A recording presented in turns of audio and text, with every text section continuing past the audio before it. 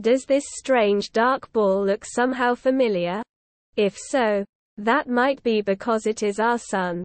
In the featured image from 2012, a detailed solar view was captured originally in a very specific color of red light, then rendered in black and white, and then color inverted.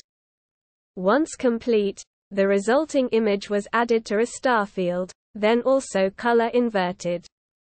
Visible in the image of the Sun are long light filaments, dark active regions, prominences peeking around the edge, and a moving carpet of hot gas.